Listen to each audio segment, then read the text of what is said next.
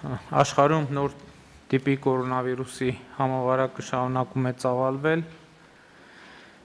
Միայն երեկվա դրությամբ մեկ օրվա արդյունքներով աշխարհում նոր դեպքերը կորոնավիրուսի գերազանցել են 100.000-ը եւ ընդհանուր դեպքերի թիվը գերազանցել է 12 միլիոնը եւ երկրներ, որոնք հայտարարել էին, որ հաղթահարել են կորոնավիրուսի համաճարակը, վերադառնում են ցավոք կրկին համաճարակի ամենաակտիվ փուլ եւ ուզում եմ ընդգծել, որ 3 առողջապահության համաշխարհային կազմակերպությունը հայտարարեց, որ ըստ էության հաստատված է համարում, որ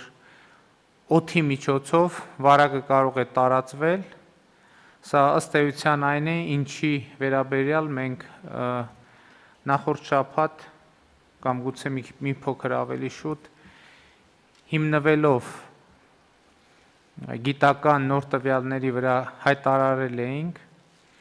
եւ այս առումով էր հատկապես կարևորվում դիմակների կրումը այդ թվում բաց տարածքներում եւ ուզում եմ ասել, որ Հայաստանում նույնպես շարունակում է ծավալվել համաճարակը 3526 դեպք են ունեցել մեր մահերի թիվը ցավոք հասել է արդեն 535-ի կորոնավիրուսից եւ 170 քաղաքացի մահացել է այլ պատճառներով, բայց վարակված է եղել կորոնավիրուսով։ Եվ ես կրկին ուզում եմ ընդգծել, որ հակահամաճարակային մեր ռազմավարությունը շարունակում է մնալ նույնը, այն է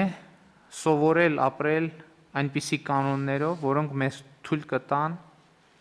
զրոյացնել նոր դեպքերի թիվը կամ մոտեցնել զրոյին